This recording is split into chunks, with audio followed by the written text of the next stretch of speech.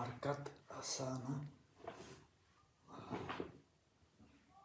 to heal lower back problems.